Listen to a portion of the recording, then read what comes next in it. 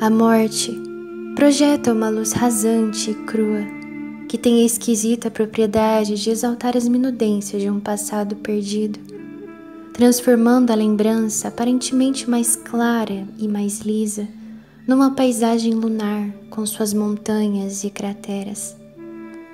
Que importância tem agora a carta que interrompi e que não enviarei hoje a um amigo distante que ainda pertence à orgulhosa aristocracia dos vivos? Nenhuma, evidentemente. Que importância tem o gesto de enfado com que hoje afasto a criança que me puxa pelas calças?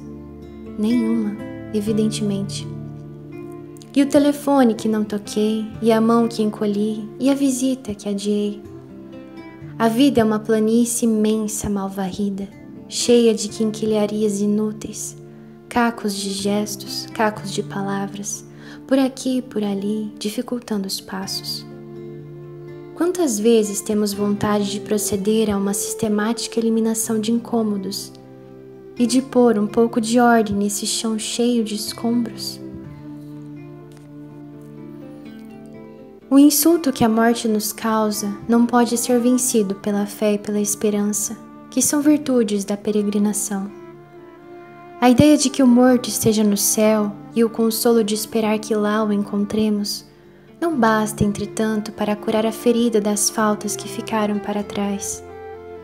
Precisamos abraçar-nos à virtude que não passa, a caridade, que é a única que vence a morte e que desconhece a separação entre o passado e o futuro. A solução perfeita dessa tremenda sabatina da morte está na transferência das dívidas. Pague-se aos outros o que já não se pode pagar ao que morreu. E vem tudo a dar na mesma, e vem tudo se encontrar na mesma pirâmide de ofertas e donativos, o patrimônio da comunhão dos santos, de cuja distribuição Deus mesmo se encarrega. Valha-nos agora essa angústia passageira, causada pelo invisível, para que melhor sirvamos o visível e assim o morto começa logo na eternidade o seu ofício de advogado dos vivos.